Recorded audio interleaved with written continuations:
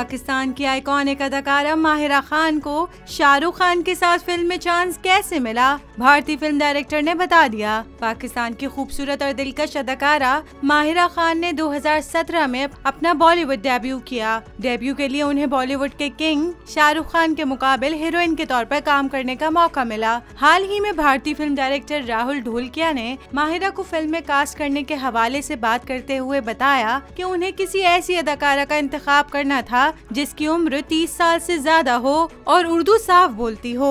उन्होंने मजीद कहा कि उनके जहन में इस किरदार के लिए दीपिका पाडुकोन करीना कपूर और कतरीना कैफ थीं, लेकिन उनकी वालदा और गौरी खान की वालदा ने भी उन्हें माहिरा खान को कास्ट करने का मशवरा दिया। ताहम पहले ही इंटरव्यू के बाद उन्हें इस किरदार के लिए माहिरा समझ आ गई और उन्हें फ़िल्म में कास्ट कर लिया गया।